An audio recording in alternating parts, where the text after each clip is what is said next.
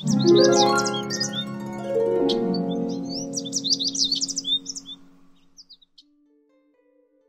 friends, uh, it's nice to be back. I thought that I would do a very quick video about last minute Christmas cards. I am terrible. I always wait till the very last minute before I get my act together. Um, so I wanted also to share a technique which um, even though I'm sharing this video very late in the Christmas season you can still use this technique for all of your cards, whether it's Christmas or not. Also, one of my lovely subscribers, Jane, asked specially if she could um, have a video with some quick cards for Christmas. Now, um, as I say, I've taken a while to get my act together and I'm not so sure how quick this technique is, but um, I find it really interesting and I hope you will too. So first of all, as usual, we're starting off with uh, some of the materials that we'll need. Um, I'm using again the Spectrum Noir watercolour uh, pad and for these cards what I've done is I've taken one of the sheets um, now it has 9 by 12 that's how that's inches. That's how uh, large they are. And what I've done is I've cut lengthwise I've cut them in half. And the hope is to get six cards from one sheet. So that's how you you start off other things that you'll need for this um, will be uh, watercolours just your favourite watercolours I have the Jane Davenport little um, colourful pan which I do love and it's very well well loved as you can see so uh, just get out whatever watercolours you have. Um, also some salt. Now this is a combination of ordinary salt along with salt flakes and rock salt. It's a whole mixture but uh, any um, type of salt will do for this technique. Uh, also obviously you'll need a spray for water and uh, water for the paints uh, I'm using a very large uh, square type brush. This is uh, just an easy flat it's called. It doesn't have a size. Um, I'm also going to use this wonderful little pen and you can blame Eileen Goodwin for this. She made me buy it uh, by watching her videos which are very very good. This is a Uniball Signo uh, glitter pen and it's in silver and I've got I've got this in lots of different colours and it really is fabulous. It's the same brand as the white gel pen that I use so really would recommend you check these out. Um, I'm also going to use some Wow embossing powder. Uh, this one is White Twinkle. Uh, some Versamark ink a couple of other uh, just blue ink pads. I'm using the VersaFine Clair again, uh, probably in Twilight or Bluebell, I haven't decided yet. Now for some stamps, um, I thought I would use the Fir Tree one again. These aren't Lavinia stamps but they're just uh, snowflakes and any snowflakes from your stash would do. I've taken out this little dream stamp which is, is good.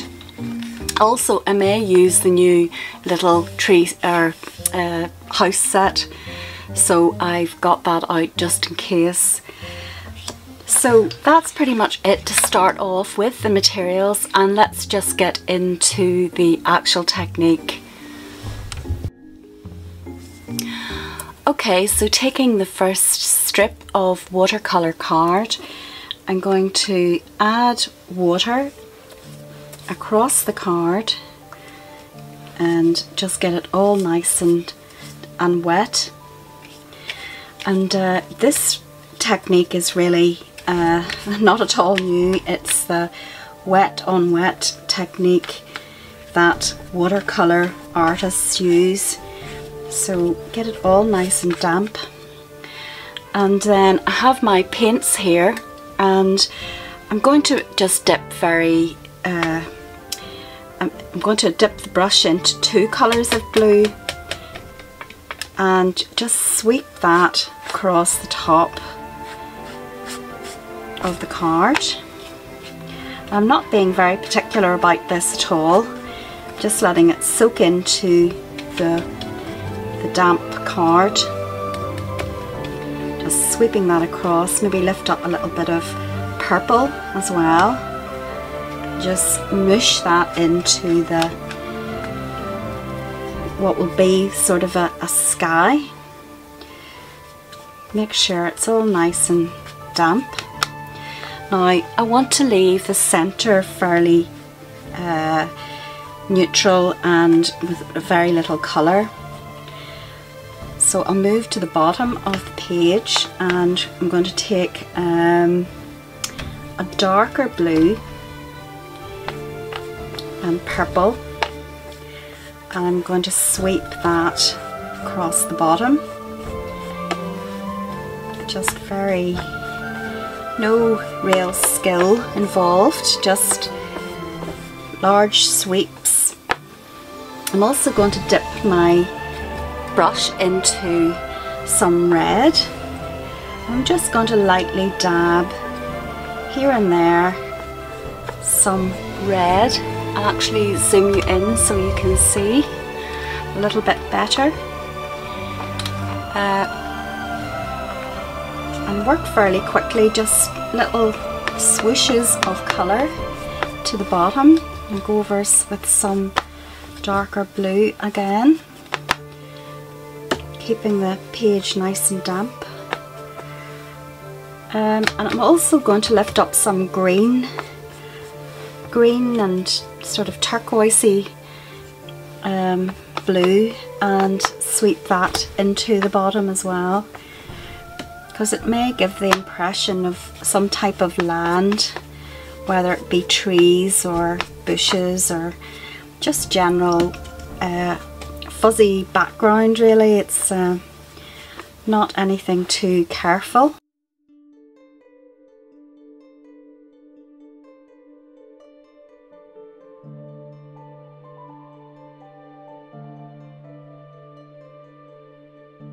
I think that should probably do for for the colour. Just let, let that all soak in. And I'm just taking the paint off my brush and I'm just sweeping across the centre to blend, blend that out a little bit and make sure that it's nice and damp. Just plain water. So you can see the centre is quite um, free of colour. I'm going to add a little bit more colour just to the top of the sky, darken it out a little bit. Nothing too, nothing too strong. Maybe a little bit of purple. Oh, that was too much. Right, sweep that out just like that. And that should do really. And uh, as soon as you've you're happy with the general colours that are laid down a wee bit I'm never I'm always fussing about. Don't be like me don't fuss. And move on. It's time to move on Lisa move on. Yes okay. So taking the salt um, you can see mine's not even very clean. Um, immediately just push drop it into the paint. Um, again, no rhyme, no reason to this.